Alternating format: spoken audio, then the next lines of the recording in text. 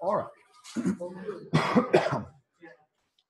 So we are here at September 8th. All right. So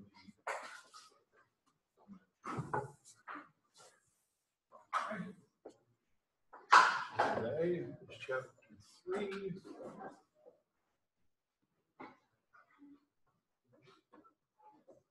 Next week, nine fifteen.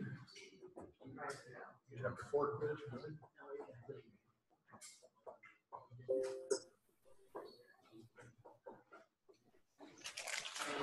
That's enough future. So now the ad period is finally passed. So uh, next week, there will begin to be some points taken off if you're late. Up till now, anybody late is forgiven. Not counting until after 9-8, which is next week. Anyway, so um, all right. And I recommend that you do the quizzes before the lecture, but it's only going to be enforced to whatever extent I actually get around to enforcing it next week. Anyway, um, anybody got any questions about anything? Usual stuff before we get going? Yeah. on the canvas, doesn't it say include A or not? Uh, I think it might have, but it's, but you, we won't get any, lose any points until next week. Yeah. Yeah. I'm sorry about that. I'm, I've got two copies of due dates by using Canvas and I haven't yet learned how to properly synchronize everything. Um, Can you that, please, for that final, like, uh, there's two, you get two chances. yeah, so let's take a few chances. Well, that, yeah, that's all I've done. I mean, I guess if, if people need more, I could open up more, but I think it's enough. I just keep going. There's tons of extra credit. I mean, if you're actually worried about the points, I would just not worry. Because there's all these extra credit projects and, uh, they make more than make up for it, Yeah. all the quizzes. Yeah. So that's good. And if, and if anybody has any special problems, let me know. Because, um, the only purpose of the quizzes is really to make people study. Yeah. I used to try to make them a measurement of performance, and I realized that it's more effective to just use them as a teaching tool. So that's why um, I've had complaints from Steve Nelson, who gets students jobs, that people are getting A's in my class and they don't know anything. And I said, yeah, that is a side effect of not having uh, the measurement of performance, but I think it's worth it because the people that seriously want to learn are encouraged to learn more. That's, and I think that's been a problem all the way back to Plato, that there are people who just do the minimum required of them to get a good grade, but they don't actually know anything. So I hope um, you understand that these things are, my classes are an attempt to aid you in learning. And if you play it like a game to do the minimum effort and get the highest score, you're cheating yourself. I mean, but anyway, um, so I want to talk about this chapter three, but let me just point out a couple of news articles are very interesting I just found, and they're worth mentioning. Um, yeah, this one and this one. And there's other ones about WannaCry stuff that are good too, but these two particular ones very relevant to this class. This one here just came out as a list of 10 process injection techniques on Windows, and we are going to go through these. They all look familiar. They're all in this class, and they're all in 126 also. In this class, you do them, and in 126, you detect them from the other end. So um, I'll just mention them as you go by. This is DIL injection, the one I mentioned before, because Microsoft Windows programs load code at runtime. You can just tell the code, oh, load this other library too, pull by malware, and run that along with your code. That would be swell. And it says, sure, and does it. So that's really handy.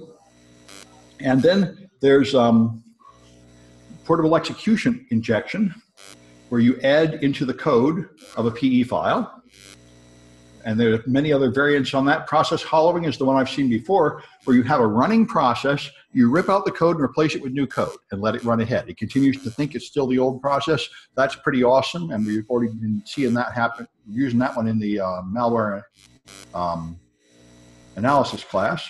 And here's where you suspend, replace it, and then resume, and you change it in between, which is closely similar to the last one.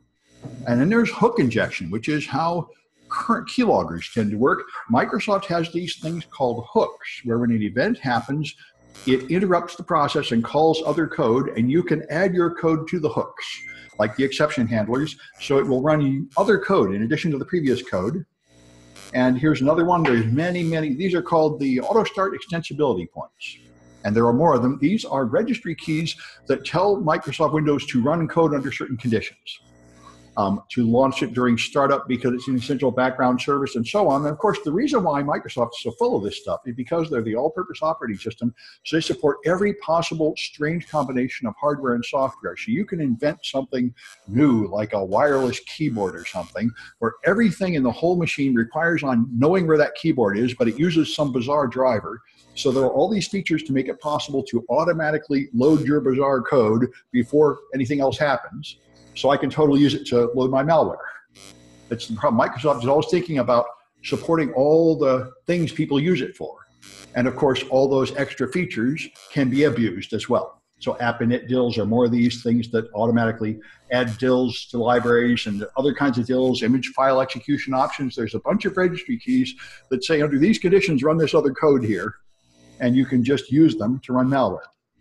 Then there's APC injection we're going to go through. I haven't heard this called atom bombing before, but these are asynchronous procedure calls, another process injection, another uh, process running system in Windows that you can abuse. And then extra window memory injection. This is the one I think that was new to me.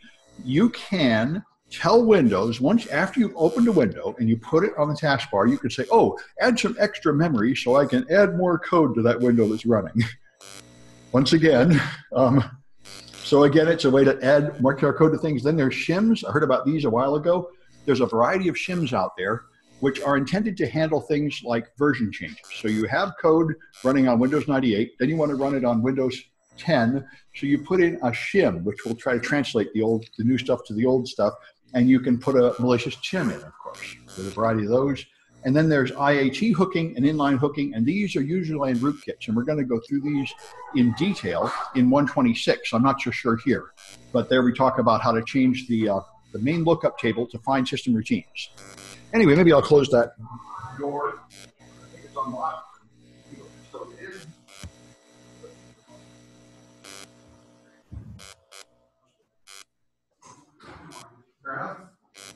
Think the competition class got them good and excited, which is the way it should be. Anyway, so, all right. Anyway, that's a good list. And here's another one. This is a new trick that just came out today. Um, this is how to break into HTTPS.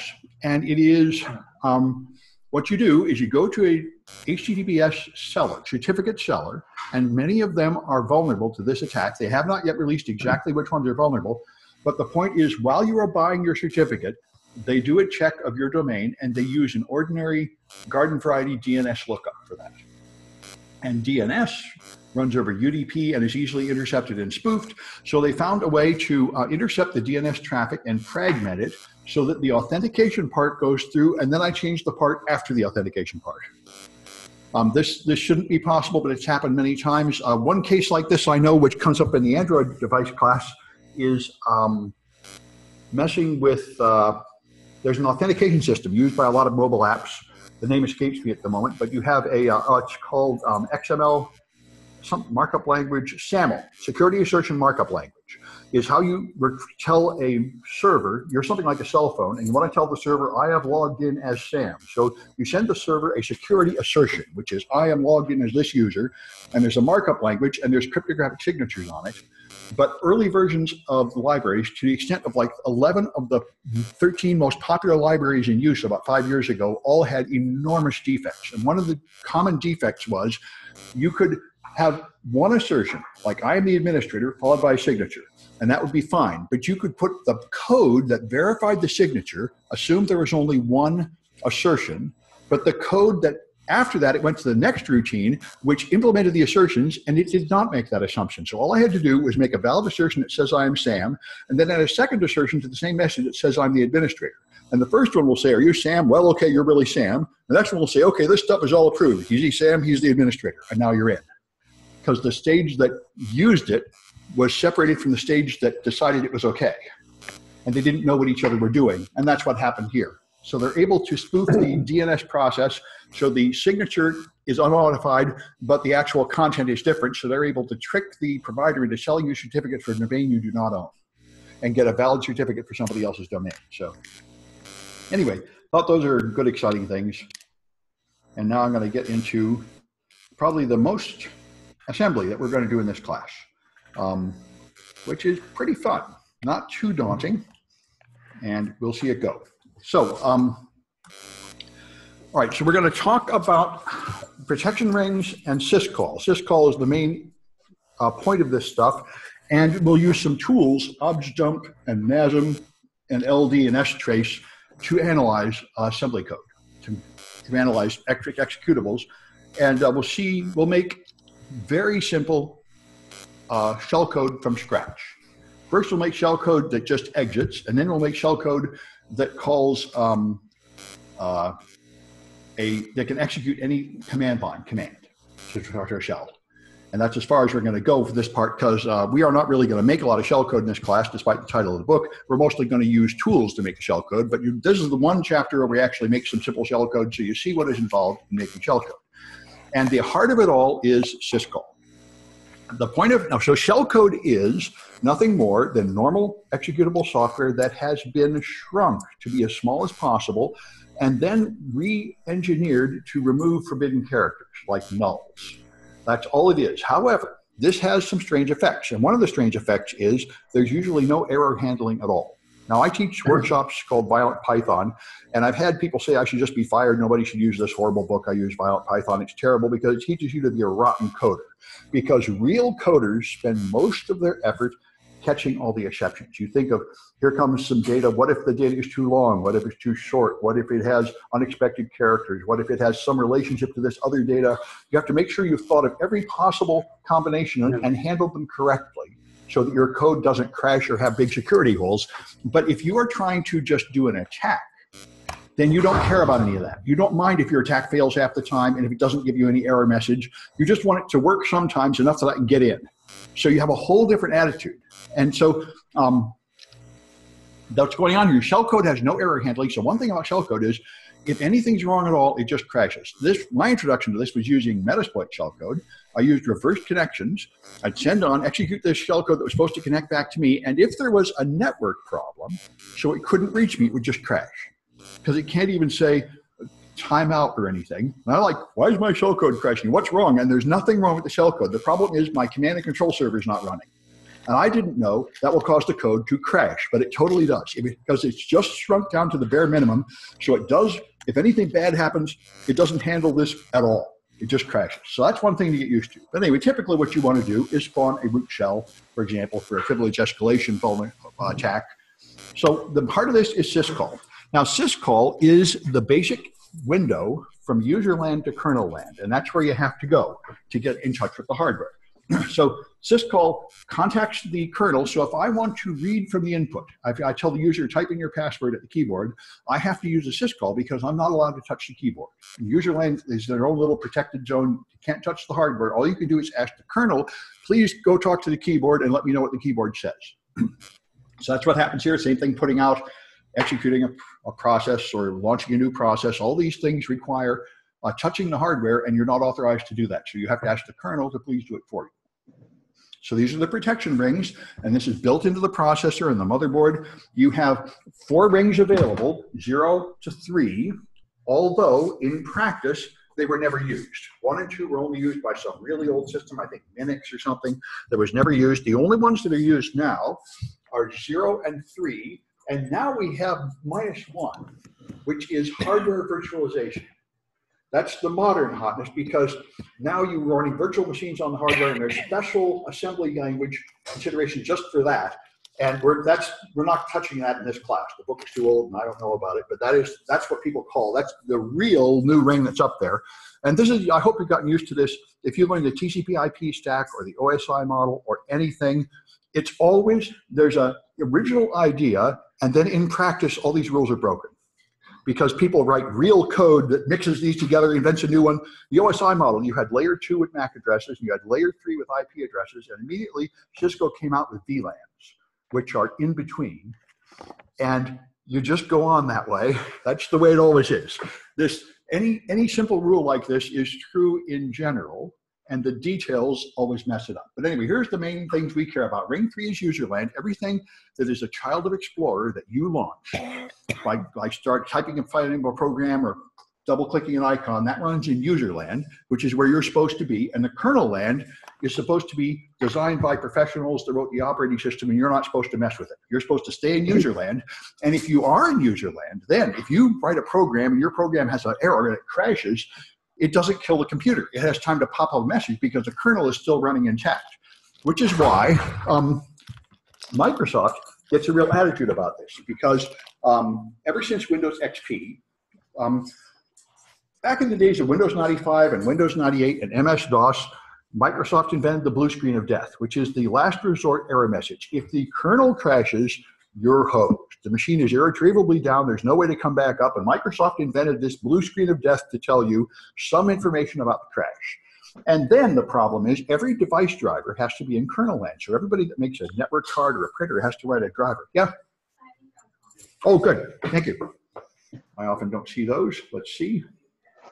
Maybe there's something odd. Is Intel Management Engine exploit vol work? Yeah, in the kernel ring. Yeah, I'm not sure about that one. I think there are exploits. Oh, the Intel Management Engine. Yeah, I've heard about that. There's a few of those. I think it does work. I don't have a project, but it would be good to. Um, there are some hardware listening ports intended for remote management. And uh, yeah, here's the kernel ring. Yeah, good. That's a good link. Oh, you should. We should probably make that public. You sent it to me privately, so others can't see it. Um, yeah, I'll, I'll, try and save this later and put that up. But that's true. There are some interesting vulnerabilities. Oh, there, he sent it to everyone. Good, so everybody can see it on this. Yeah. Anyway, yes, these are good points. Anyway, so the kernel is now contains not just code written by your operating system vendor, but code written by everybody that made devices. And then there's a race to the bottom to make the cheapest devices. So when you buy a $10 NIC from China instead of a $30 NIC, you're probably getting a NIC that was designed for Windows 98 and a driver that was designed for Windows 98. And they found out that all you have to do is change the metadata that says, sure, it'll run on Windows 10 and sell it to people. And it mostly runs on Windows 10, but it doesn't really handle all the situations right. So it causes the whole thing to die with the blue screen of death. And this is why Microsoft got very upset and they started enforcing more and more rules on what you can put in the kernel. And they tried to lock everybody out of the kernel with Vista. They wanted to switch from BIOS to UEFI, so when your machine boots up, they can validate a digital signature of the kernel before it starts, which is what the iPhone and the iPad do. And they said now, if it does not match the signature, meaning the entire kernel is 100% intact code from Microsoft, it will refuse to boot up and say your machine is broken, go take, go get it fixed. This would end kernel mode rootkits, but it would also end um, antivirus software, all of which puts unauthorized non-Microsoft code in the kernel. And uh, the antivirus companies threatened Microsoft with a lawsuit if they dared to enforce that, so they never did, except for the ARM based Windows 8 tablet, which nobody else got. So, anyway, this is a big issue, um, and uh, that is now an option you can turn on in some version of Windows, but it's not very common. Anyway, let me see if I can get this extra window off the screen because it's kind of in the way, and we'll carry on. All right, so, all right, so protected kernel mode um, is here so that if you are in user land and you have a problem, you present an error message. If you try to access kernel memory from user land, you'll get an access exception saying you're not allowed to read that, get lost. So if you do want to do something with the kernel, you cannot just read or jump into it. What you do is you use syscall. And syscall is an interrupt process. All the way back to the really old days of MS-DOS, interrupts are how you demand immediate service so the program will stop whatever it's doing and go do something else and then come back. And this is int 80. All right, so every time you touch hardware, you have to do a syscall, which is done with interrupts, at least in the early versions. So libc is the functions that perform syscalls. And these are all the functions like printf and scanf and exit, all the things you use, the common C library routines you use to do everything that involves touching the hardware. So you call something like malloc to reserve some space, and it seems to work, but what it's really done is go to the kernel to get the kernel to reserve that space for you because you can't do it directly. Just so the, the traditional way to do this is interrupt 0x80. This is interrupt number 128. And this, so you load the syscall number into EAX, then you put other arguments in other registers, and then you execute int 80. Therefore, the computer, computer will stop doing what it's doing. It will switch into kernel mode instead of ring three, execute the kernel routine, and then come back. That's how you do it. Very much like a corporate executive handing something to someone else and saying, go take care of this.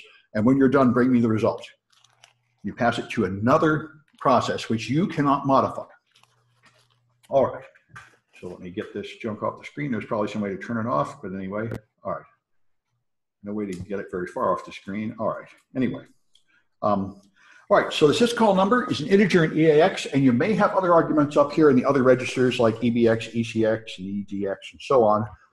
And uh, all right, so let's take a look at some of this stuff in 32-bit Kali. So I've got a 32-bit Kali machine running here, and I should have an SSH shell into it. Let me get rid of some of the extra things I don't need, like that. Okay, and matter of fact, I don't need that anymore. Okay, there. So things should be relatively simple. Here we are. All right, good. Control X, I thought. There we are. Um, sure, I don't care. All right, make it bigger. Okay, so clear. All right, this is what I did this morning, make a few demonstrations here. And so the first one is exit e.c. All right, so let's, um, all right, this is the simplest C program you could possibly imagine. All it does is exit. So it's pretty boring, but it does let us see the bare minimum case of a system call. So you compile that, GCC minus OE, there's not any special flags, that's what I was checking for. Output E, E dot C. Okay. Now I get some warnings because I didn't bother to declare the exit function first, which I should have, or include a header or something, but it doesn't really matter. And now I can run my glorious program, and all it does is return without crashing. So that was exciting. And of course, the fun thing is to see what that's doing in the assembly code. So let me make this so I can flip back and forth relatively easily. And all right, so let's disassemble it. And let's play with a few tricks here, which are good to know. So if I disassemble the GDB, my E, it's here. Now, if I disassemble main, it will show me the code in main. So I can, now this, you should be beginning to get familiar with this. This is the preamble. It figures out something about stack addresses. It rounds off the stack to the nearest 16 bits. Then it pushes EBP, all this junk up here, is not the EBX, but this part up to here is the preamble, which creates a stack frame by moving EBP and ESP up to point to a new area of the stack and reserving, there's always going to be a subtraction up here. I'm not seeing it too obviously. I think it's minus four, where you subtract enough room for the local variables. Here, I only need enough local variable to store zero, which is the number I'm going to return. That's the only thing. But anyway, this creates the stack frame. This is what actually does the job. It calls something called get func, and I've forgotten what that is. Some kind of thing C does to get ready. And here, it's going to call exit. So this is the story. Um, it's going to push something out of the stack, move something into EBX, and then call exit at PLT. PLT is program linkage table. We're going to be using it a lot more later. It's one of those um, blocks of addresses that you use to go to a program. If you actually want to call a routine, you do not call the address of the routine directly, because if you did, then if the operating system was upgraded and the routine's address changed, all your code would break. So you never call any uh, system function directly. You call a lookup table so that when they update the operating system, they update the routines and they update the lookup table. So the lookup table address stays the same, but the contents change to point to the right address. This way you can do things like update your Windows without having to reinstall all your software. And at the other end, you might update the version of your compiler and recompile your code without updating the operating system. So there's a second lookup table on the program side. So you always jump through two lookup tables, one under the program's control and one under the operating system's control to get to operating system routines. And the PLT is one of them. And we'll be messing with it later. So it's going to, let's see, if we wanted to see what exit does, we can disassemble exit. And I don't know why you can't put the at PLT here, but you can't. So I can disassemble exit. And if I do, let me shove this up and try to get rid of this junk again. All right. Um, there just seems to be no way to get rid of this junk. At some point, I need to spend more time learning how to use this broadcasting system so it doesn't hog up my screen so much. Anyway, um, so now it's going to just push something onto the stack and then jump to some address here, but it doesn't tell me what's in that address, and I can't really figure out because that address is somewhere horrible, way down in kernel memory, 03A0. That's down in the first page of memory, and that's kernel land. I'm not allowed to look there. If I tried to disassemble down there, it's not going to let me. Um, star 0x 3a0. Um, maybe it's this. Yeah. Anyway, I can't disassemble. I've tried a few ways. Of course, I'm not authorized to get down there. So what you do is disassemble main, and you load it. I got to get this thing to come on. You keep hitting the wrong button. Okay. Now still something's wrong. Fine, fine. Disassemble. Main. There. Now I want to put a break at main, the start of main. Man. All right. Now I can run the code, so it's actually run and then stops right at the start. And now if I disassemble exit, now it has changed. Now it knows how to label things. So now it tells me that I've got um, run exit handlers. Now I think I've fallen off my track. Let me go back to my slides. This is what I saw before, jump exit, jump this 3A0. And now when I disassemble exit now, yeah, that's, I still say, the point is now I can see useful labels like run exit handlers. And I can now look at that. So now that I know the, the label of this code, which is up in the part of memory I can see, I can disassemble that and I can see what an exit does. And what it does is lots and lots of junk. And ultimately, it's going to do an int 80 to get out. So let me see if I can find it in my slides and then come back because it's too big. All this junk is all that error handling. I was talking about real programmers write pages of that stuff to handle all the problems hackers, evil hackers, just write a couple lines that break in, except when there's a problem, which they don't care about handling in the computer. So um, at the label exit is where the real syscall is. And you'll see down here, it pushes something 3C and then it calls exit. And so I can disassemble underscore exit to find what I came here for. I was just trying to give you a clue how you find this if you didn't already know it. If we disassemble exit, you will now see what an exit really is, and what it really is is a move one into EAX and an int 80. That's it. Those two instructions are what calls the system routine exit. All right.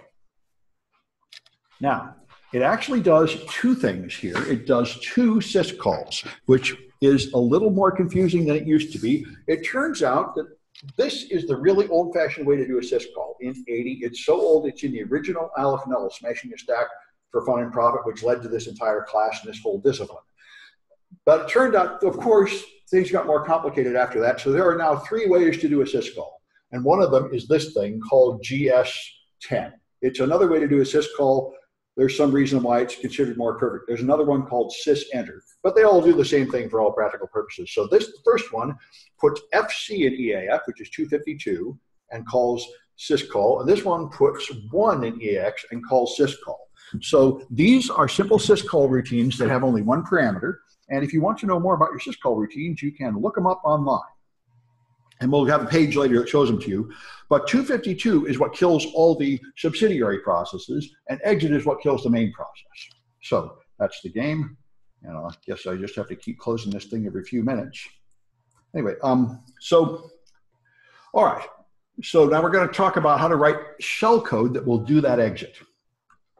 So here's the two syscalls. The first one is exit group, which will kill the other processes associated with this one. And here's exit. So all here's the actual function used by the compiled program, the C compiler. All we really need are the two instructions in green.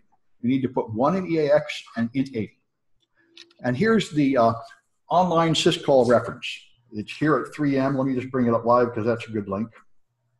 Um, if I go to my page and I go to 3M, all right. Right, this is the glorious syscall reference. So you see, this is sysexit is one. And someplace there's 252. So I can learn more about sysexit here. This is the Linux programmer manual about it. It tells me what exit will do and so on. But syscall one is int exit. And here's the registers that are used by it, EAX, EBX, ECX, EDX. So syscall one uses EAX has to be one and EBX is an integer for the error code that comes back. So that's it. The other registers are not used. So before calling exit, you should set EAX and EBX to something. And so it goes for the other references. So that's this is what your machine is actually doing is a bunch of these syscalls to get anything done. And you look them up here if you are going to write your own shellcode or do anything using the kernel directly. Of course, most people just trust the C language developers and the operating system developers to take care of all that, and we use high level languages. And I have to close this irritating thing yet again. There must be some way to turn off the webcam feature. I'll see if I can figure that out some future date. Anyway, um, so here's the simplest assembly code for exit. You have to define a text section and a start, and then he says we'll move EBX0, EAX1, and int80. You have to have something in EBX for the return value. I'm not sure what putting a zero in there does. I imagine that means it just throws away the return value because it's not really an address of somewhere to put it. But anyway, that's the smallest possible code. So let's take a look at that. If I do that here, get out of this assembler, and that is probably exit.asm. All right, so there's my code. And in order to compile this one, since it's written in assembler, I have to use NASM. I can't use GCC because it's not C. I use NASM minus F ELF means make Linux code. Executable link format is the Linux standard format. I assemble it. That creates object code, which is not runnable yet because it has to be linked. LD is what links it. Um, and then that creates um, exit.shellcode, which is executable. So let's do that. And I'm going to make it fit up here so I can see what I'm doing. All right, so it's load or link minus O exit shellcode and exit.o. And then, um, whoops, I had been supposed to do NASM first. The reason that works is because I've already done it here. Um, NASM minus F elf and exit.asm. Then I should do that link again. Now, I've got exit shellcode, 544 bytes big of executable code. And of course, if I run it, it just exits. So it's pretty boring stuff, but it took 544 bytes to get there, and we want to see how it works. So we're going to examine it. We could do it with the disassembler. You can also use OBJDump. OBJDump is present in almost every Linux distribution, and it's a good tool to get used to using. OBJDump has a variety of fun features, which we are going to use a lot later, like it will show you the global relocation table to make it easy to find pointers to overwrite. But right now, we just want the disassembly, so that's OBJDump minus D. And that will show us how simple this shellcode is. OBJDump minus D on our compiled shellcode, which is exit shell. Okay, this is the active ingredient. This shellcode is 10 bytes long. And they consist of a move zero into EDX, a move one into EAX, and an int 80.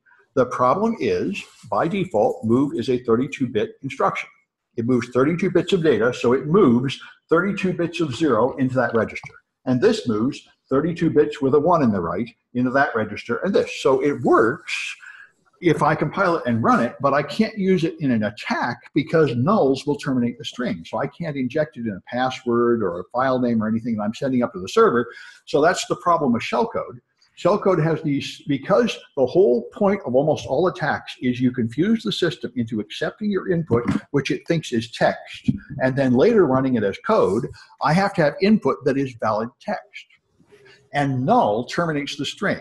So I certainly can't use nulls, and as you'll see in the project, there are often other characters I can't use depending on the particular program I'm trying to exploit.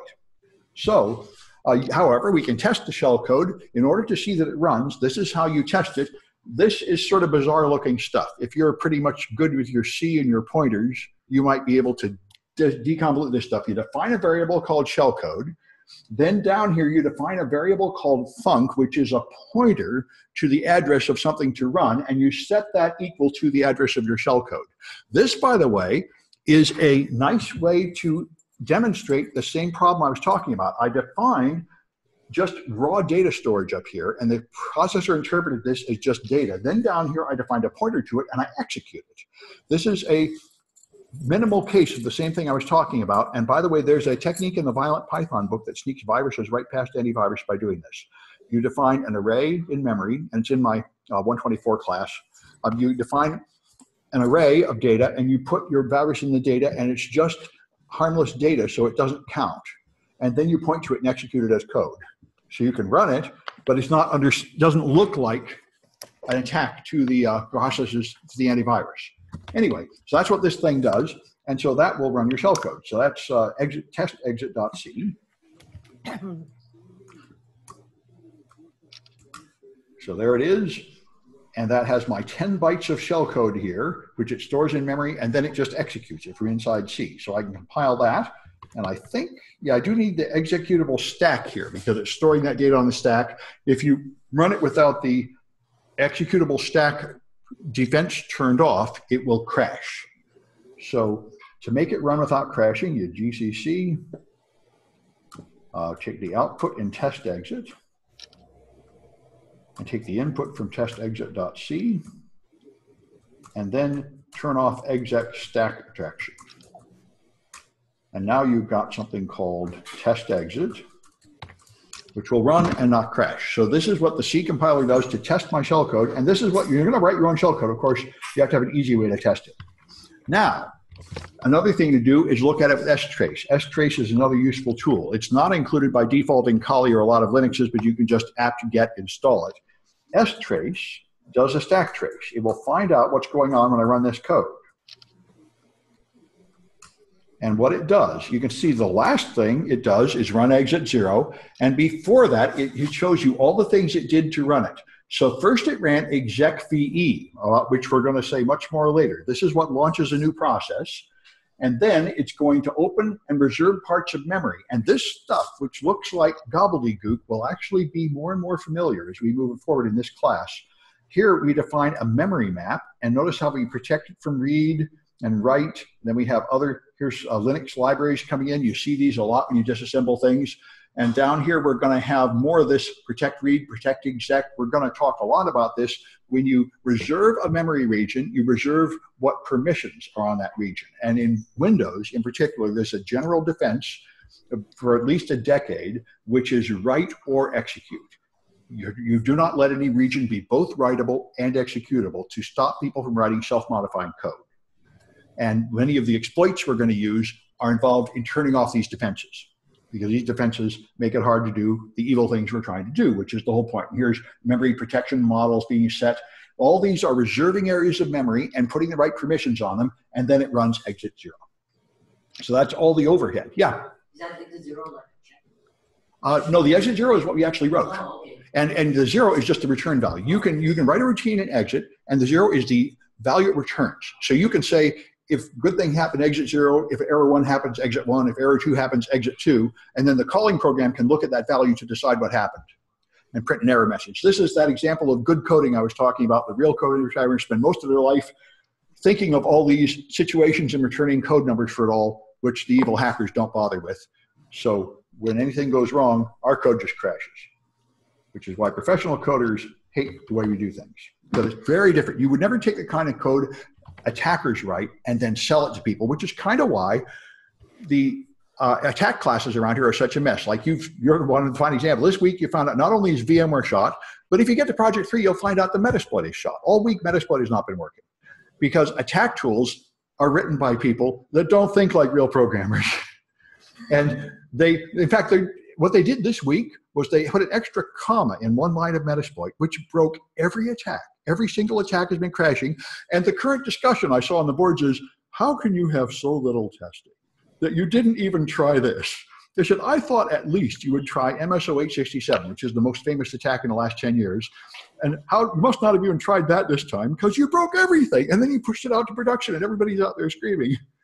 Especially since imitating Microsoft, Kali now automatically updates everything all the time. So you always have the latest buggy version, even when you didn't really want it. It's pretty annoying. Well, the hope of updating is actually resolve the issue. You know, whoever Doesn't make it any you know whoever whoever thinks that updating fixes problems is living in a dream world, which is Microsoft's specialty. I mean, I, I even Microsoft tells you don't put on an update until you test it first.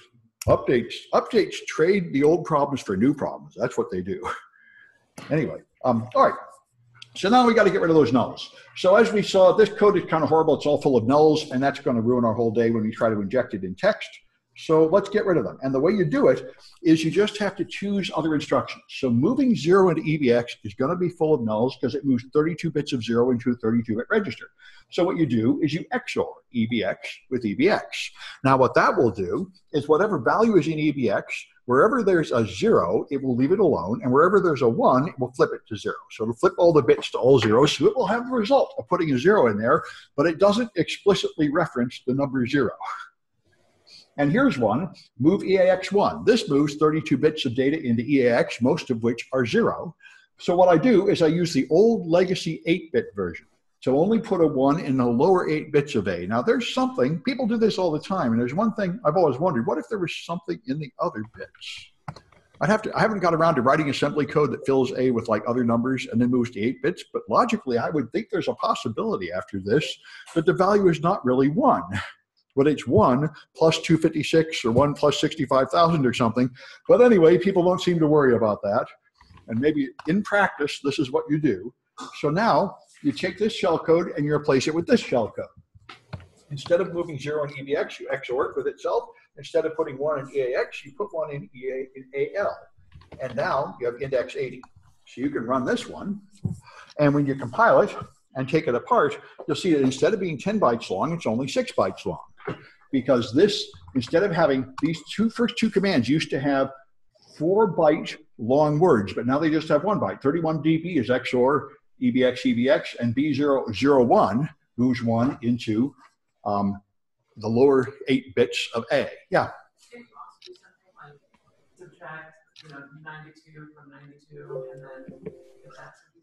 You could. The question is, can you subtract like 92 from 92? The problem is 92 is a 32-bit number, so it would be all full of zeros. But what you could do is have like FFFFFFF and subtract it from itself, and that would probably be okay. Yeah, this is why another fun thing, by the way, is when we get to a NOP sled. Traditionally, you can even have virus scanners that look for NOP, NOP, NOP, NOP, NOP, and you could totally do something else. Like you could just do this XOR EBX with EBX over and over and over again. You could save EBX somewhere, XOR it a million times, then put it back, and that would be a NOP sled. It would not be equal to a NOP sled. ID virus wouldn't detect it and all that, but people just don't bother. There's um, there's lots of alternatives. That's the cool thing about assembly. There's many ways to do it. This is this is the traditional one. I think this is the one that's actually fastest. So C compilers will like to do this XOR thing. They'll almost never load an immediate zero. But anyway, yeah, you totally could. Yeah. Um, how does the processor know if it's uh, work uh, 32 bit or 8 bit? Um, yeah, the question is, how does the processor know 32 or 8 bit? Uh, the processor is always 32 bit, and you have these particular instructions uh, like AL. The AL here tells it to, in fact, only operate on 8 bits. It has a few, it's always really a 32 bit processor, but it has a few instructions that are there that do only move 8 bits at a time just for legacy briefing. So you'll have a different uh, string here, AL instead of EAX, and you have a different code here. If you were moving, notice it's B0 is the um, active ingredient, the operand. The uh, B0 is the verb which you call the operator, the mnemonic. They call a mnemonic move, and this is the operator, B0. And up here, the operator was um, B8. So B8 is what takes 32 bits and puts it in EAX, and B0 is what takes 8 bits and puts it in EAX. See, I learned, I mean, when I saw, started doing assembler in the 90s or the, no, in the 80s, maybe even, now it's the 80s, um, I had an 8-bit processor, and you had to, the only way to do it was to write these stuff in base 10 and poke it in from basic. And I remember 169 was A9. That was what loaded the accumulator at that time. And there was only one register, the accumulator, was A. Then later on, there was AX and BX, and then EX and E. Anyway, that's the game. So this AL is what tells it you're running in 8-bit mode. This EBX tells it you're running in 32-bit mode. Yeah. What's that? Oh, no. Um, some instructions are longer and some are shorter, but the simplest and most common ones are single byte. Um, things like, But only two what? Yes, exactly. That this this command move one into AL is a two bytes. This is total six eight bits and eight bits. That's all it takes. And a NOP is only one bit, only one byte. Some of them are five or six bytes. Some instructions are longer. Like these ones back here were five bytes long because they had to have this long text. So that BB means the next 32 bits are, are the argument for it. But that other code tells it to only use the next eight bits. 31 tells it only should be. So each instruction is different length, and you have to like read the manual and learn how they work. All right, these are very good points. Yeah. So when you're moving 8 bits into the 32 bit register, which part of the register? Uh, well, you are the, you are allowed to refer to certain pieces. A, H, and AL are the higher and lower 8 bits, so the right hand 16 bits. And there's something else that refers to the left 16 bits and the right 16 bits. I think EA, H, or something like that. There's a, there's, by the way, you cannot refer to just any 8 bits. There's just certain ones that are available to you. Uh, because, and they're there so that a compiler could easily run 8 bit code. And uh, this is a convenience for things like Microsoft. Microsoft, every version of um, Windows supports the previous version. So you can run 32-bit code on a 64-bit machine, and you can run 16-bit code on a 32-bit machine, which is extremely useful in the commercial world where people are trying to get things done and they have old software. Um, Linux totally doesn't. Although you can add optional libraries, it doesn't. And that's one of the many irritations about using Linux in business. Um, Microsoft puts an enormous amount of effort into supporting old legacy stuff, which is very important for business, but it leads to a whole lot of security problems. There's all these really old things still in use on Windows because plenty of companies have something like the cash registers that were put in 20 years ago under Windows 3.1 and they're still working and don't tell us we have to upgrade them. And there's a way to keep using old junk on Windows forever. Anyway, so now we're going to spawn a shell. So all we've done is exit so far. So if we were to actually eject this exit code and run it, all it would do is freeze the server. So this is a denial of service attack. And that's not very exciting. You could do that with a lot of things, um, just any kind of illegal instruction. We could just inject garbage onto the server and execute and it would have the same effect. So we want to do something a little better. So here's the plan how you make real shell code. You write it in some high level language like C and then compile it and disassemble. Then you look at the assembly and then you rewrite it in assembler to get rid of all the forbidden characters. And then you're then you're ready to go. Because of course the compiler will totally not understand that it needs to ignore nulls and stuff. And compilers don't come with options to skip nulls. Attack tools like Metasploit do. But normal compilers are not in the business of making attack code and they do not give you these options. So um, Therefore, you're ultimately going to want to run a different process. The original process is doing something like it's a Microsoft DNS server or something. You wanted instead to let me execute code on the system. So I have to somehow run different code than what the developer put on the system. So I have to launch a new process or I have to change the contents of an existing process, like the things I was talking about uh, at the startup class, those 10 ways to run alien code on Windows. The main way you do it is fork and execve. Um, I don't know if this is true of the latest versions of Linux, but what I've been told is until recently, all processes on Linux are created with fork. When Ping first boots up, it launches init, and init fork makes two copies of a process. The old one continues, and a new one starts from here and branches off.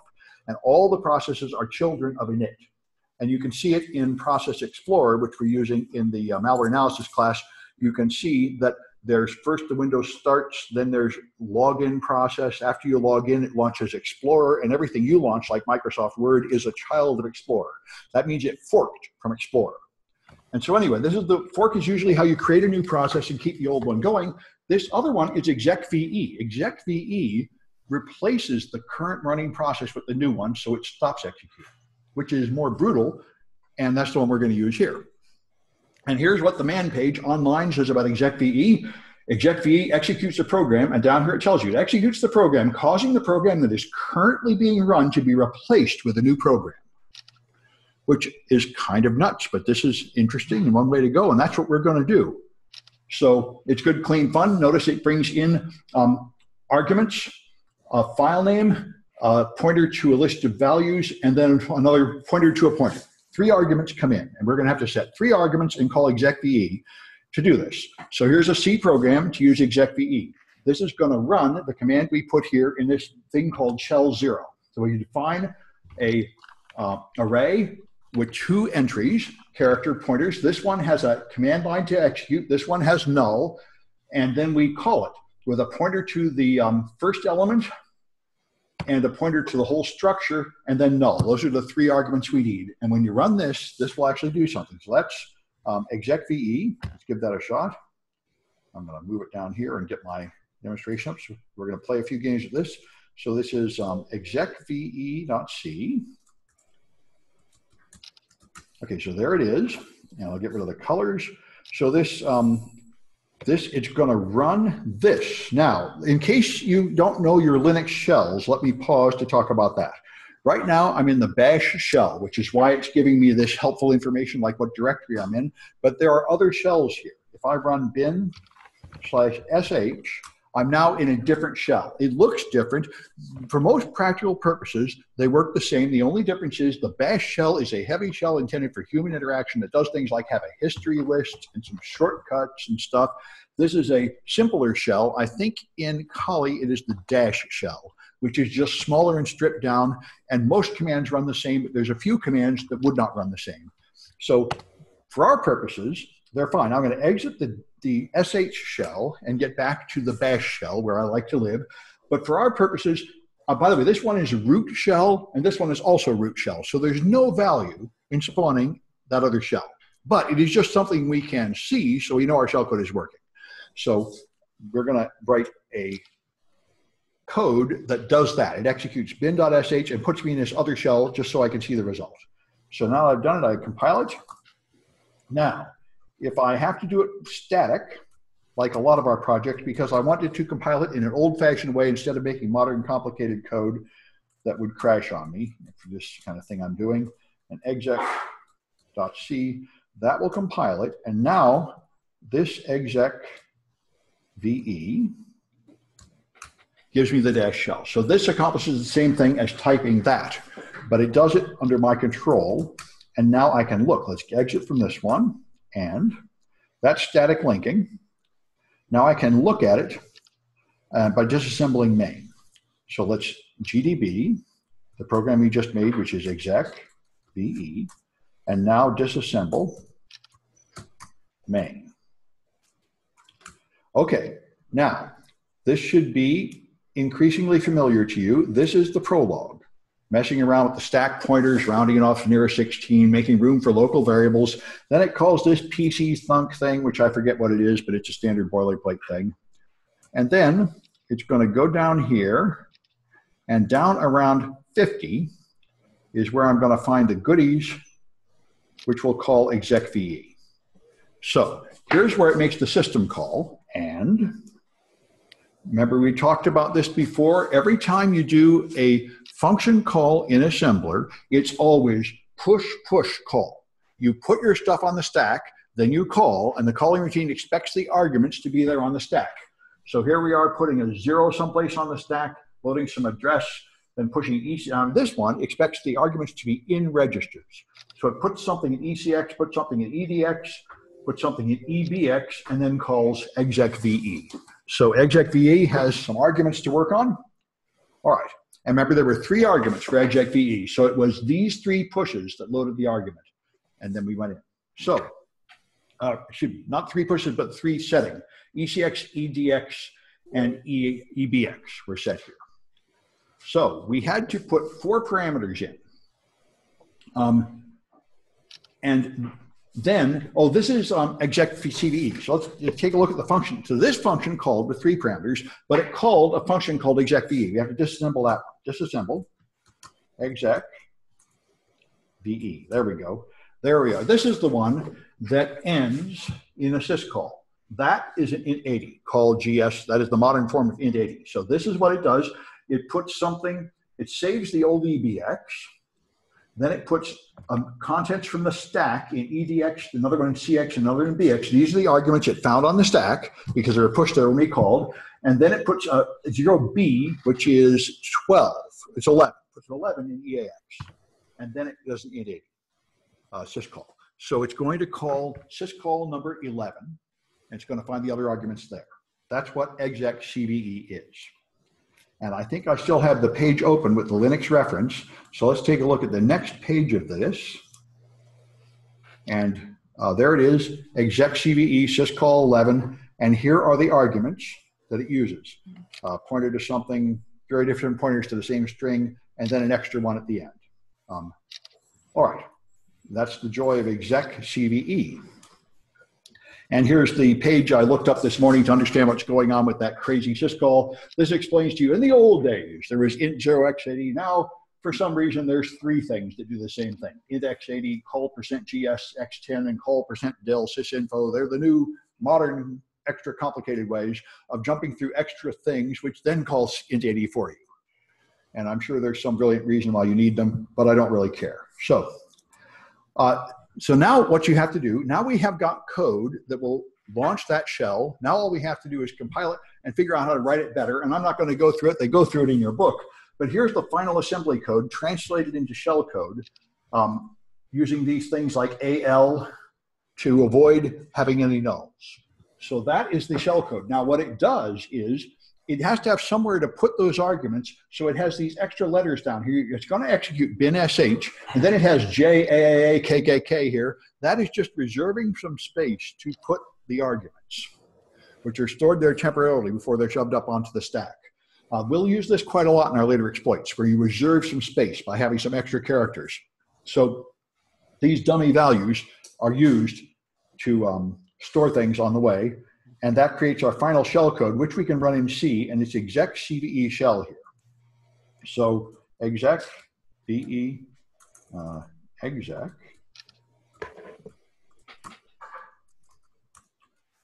exec VE shell, no underscore, okay? Nope. All right, what did I do wrong? LS is what I'm trying to type. Um, oh, it's test exec shell code. Oh, I forgot. Okay.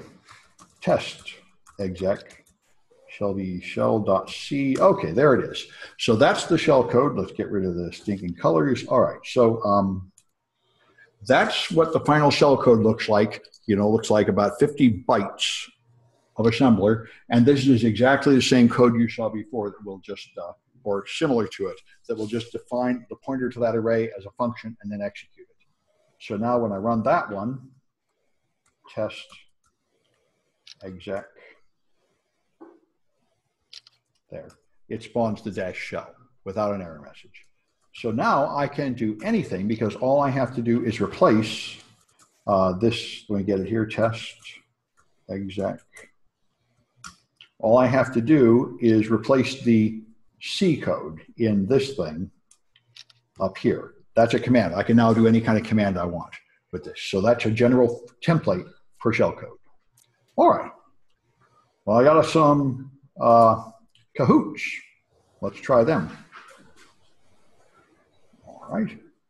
And uh, I guess I don't already have Kahoot open. I'll close some extra windows and get down to here. Okay.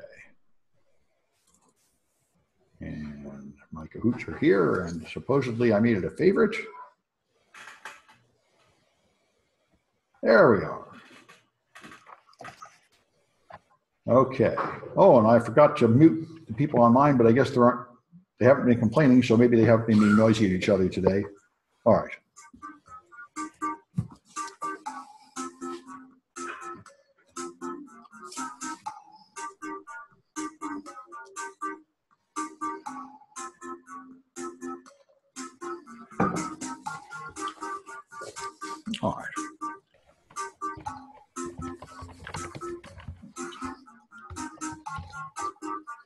Need to learn how to disable the webcam feature in Zoom. It quits popping up webcam images all the time during lecture.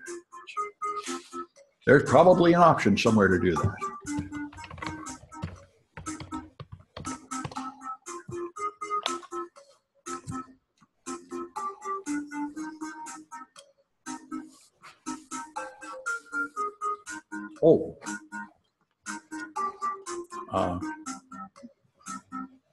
Don't let me forget to, I have a survey about VMware.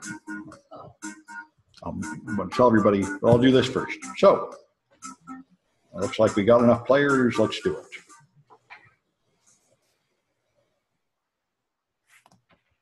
Okay, so how do you get from user mode to kernel mode?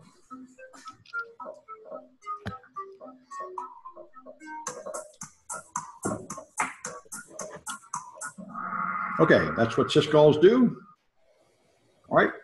Which one will list all the syscalls when you run a program?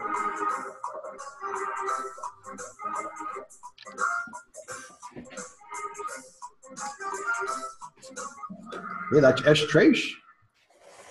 All right, so what should you use instead of move AX0 in shellcode?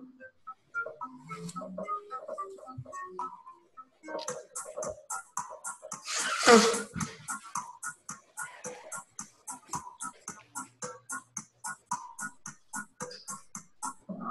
Okay, XOR something with itself, that's the typical thing you use.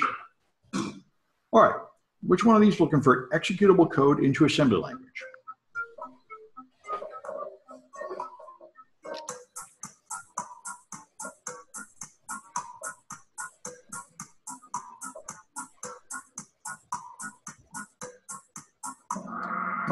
Objdump does that, takes executable code into assembly language. Most people never use assembly language. They write in things like C, they compile it and run it.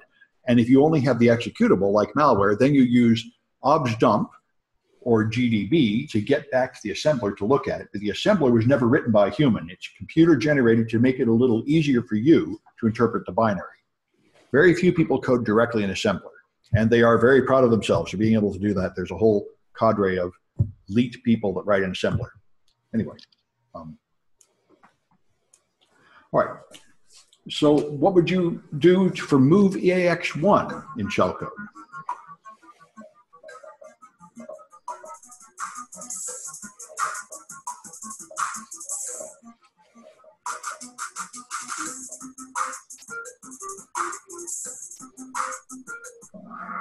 All right, you typically do this move AL1. This, like I say, I kind of wonder if this is exactly right. What I would think a more perfect answer would be to do this, XOR EX, EX, and then do increment. Then I would know there's a one in there, but in practice, this seems to be considered good enough. And that's what I mean when I talk about the, the sleaziness of attackers. They're perfectly happy to do something that is not 100% right all the time. Defenders can't be thinking that way. And normal software developers, yeah. Yeah, the reason that's the case is only look at certain registers like. Oh, so syscall doesn't see the higher bits. Yeah, it doesn't look at it. Oh, that's a good idea. Oh, thank you. Okay, good. That's bypassing that ability for the older processor models that didn't have all those bits. Ah, well, I thank you. Well, good. Okay, so it is all right. Thank you. Good. I really appreciate the help. If anybody else has helpful information, bring it up because I certainly don't understand all this but completely, and I'm not pretending to. Um, so, good. Thank you. That helps. All right. So, which item is converts assembly code into object code?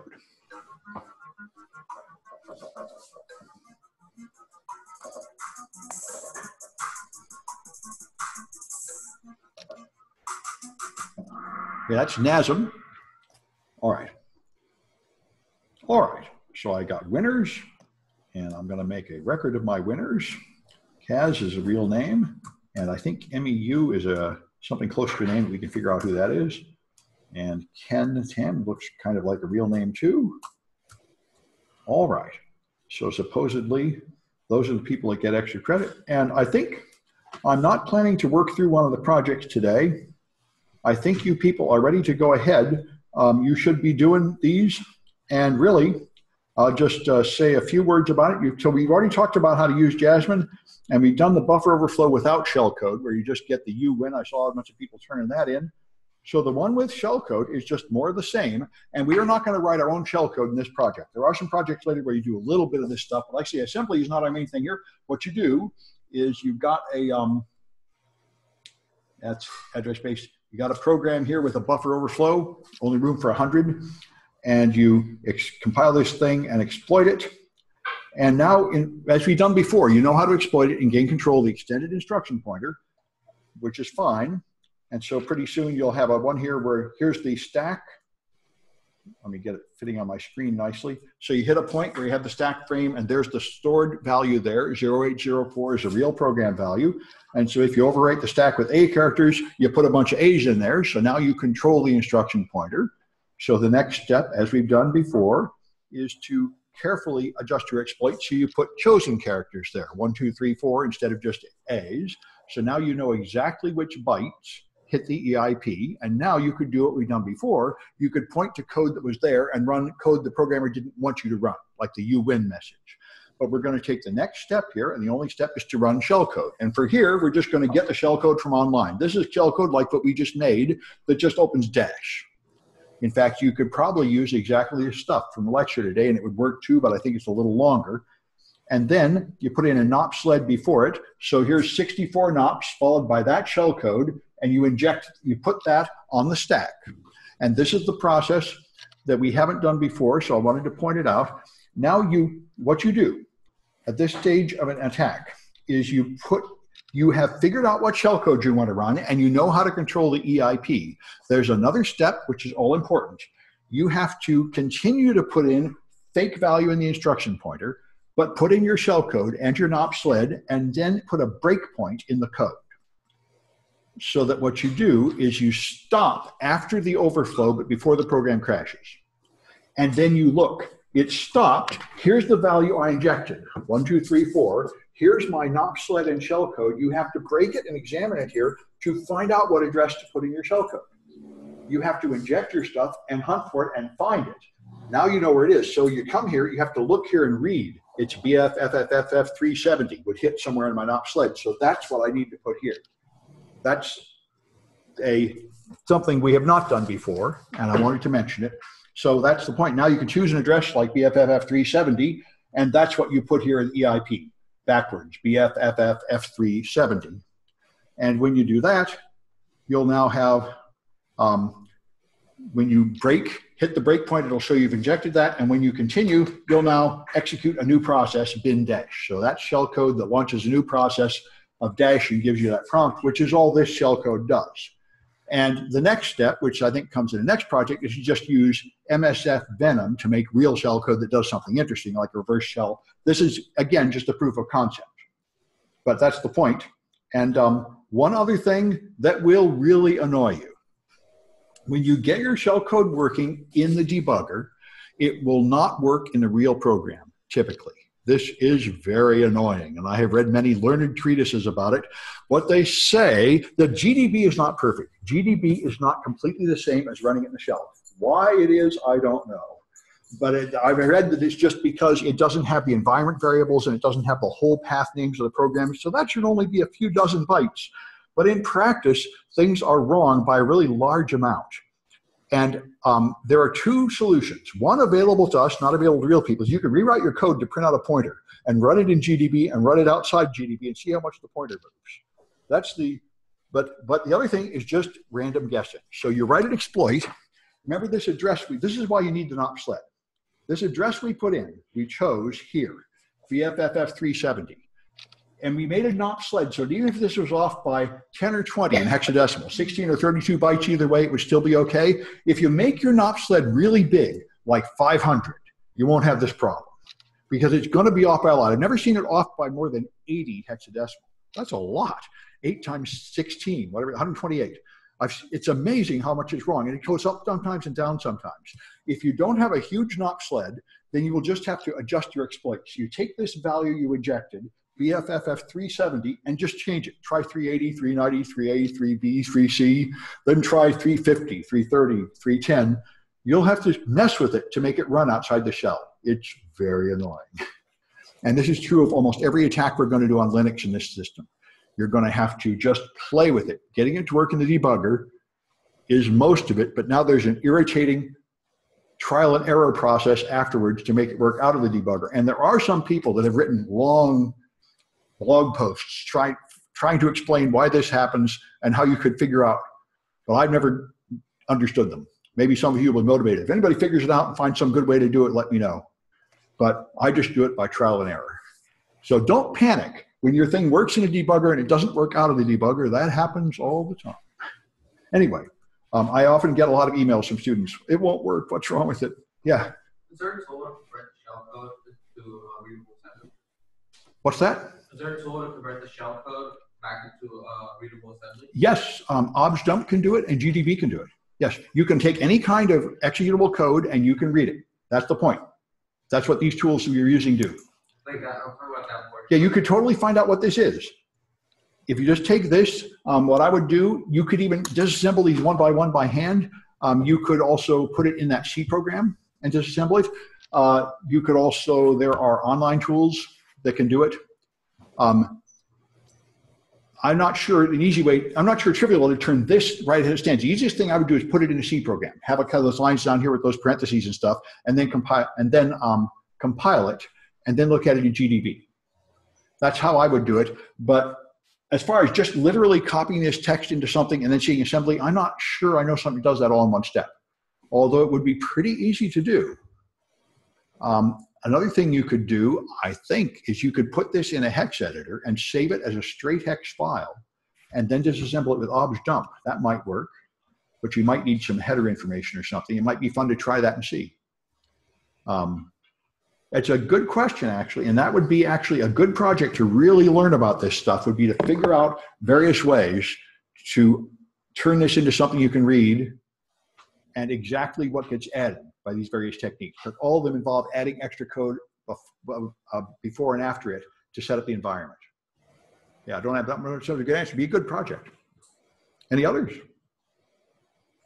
Well, I think that's all I'm going to show you today. I'll go up to the lab in 214. I can help anybody who wants to work on projects. Oh, oh, one thing I wanted to make sure and announce. Um, students who use Windows machines this week have been getting totally hosed by VMware.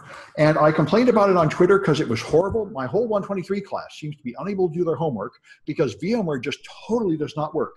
And when I put this on Twitter, the VMware people contacted me and said, no, VMware is fine. It works fine. I say, well, I don't think so.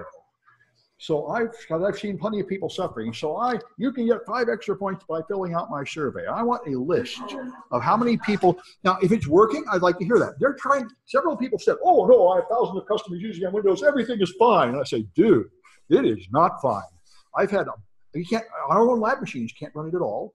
And students come to me with their laptops like him. I must have spent four hours helping him do it, and he spent ten hours out of. We can't make VMware run at all anymore it, there's a serious problem and VMware is pretending it's not happening. So I want, so you can get extra points by filling out my survey.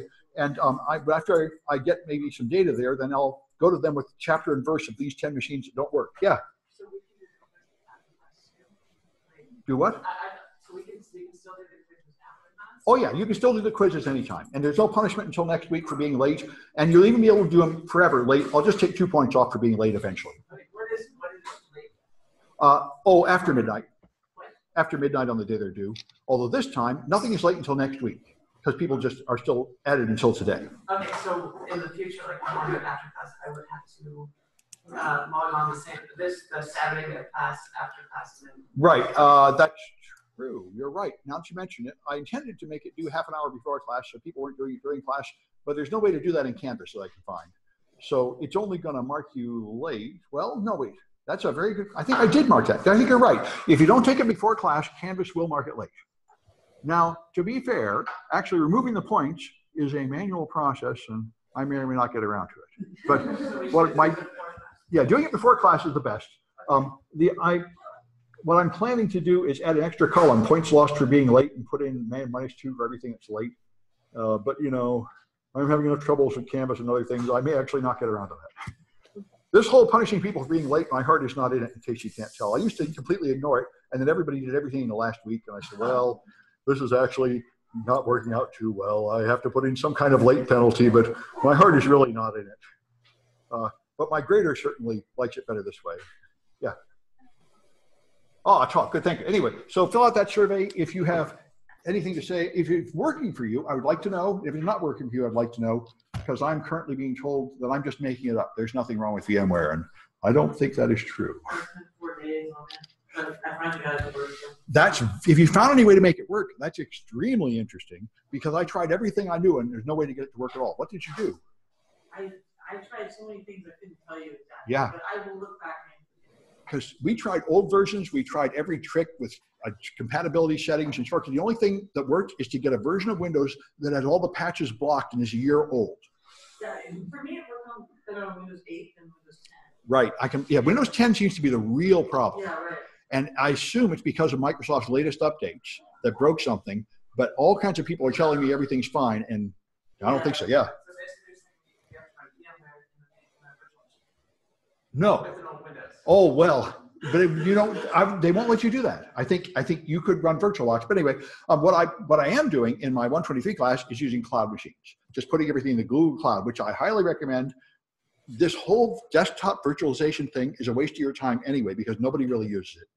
It's just for training, but cloud machines they really use. So I hopefully next I've got it all working now to put all the machines in the Google Cloud and I'm going to have the projects written that way for 123. I'll have them up the next day or two. I just need to add little little forms to get points. But you can totally do it all right up in the cloud. The other thing, which won't affect you but does affect other people, is this week Metasploit doesn't work. So that's really rude. but they supposedly patched it a couple of days ago. So supposedly pretty soon it'll be, an update will fix it. Um, but anyway, so let me see if the chat message here is saying something I should know about. Where do we submit our project? Um, yeah, you'll find when you go to the, uh, you do email, at the end of each project, there's an email address in this class and you email in screenshots. In my other classes, you fill in a form and it puts your score directly in Canvas. This class, I have not upgraded to that yet. So I didn't want to do it to all my classes and then find out it didn't work. It is working pretty well though. So I think by next semester, I will switch entirely to that system. Um, all right, any other questions? Then I'm going to stop the share and go up to the lab and I'll be there for a while to help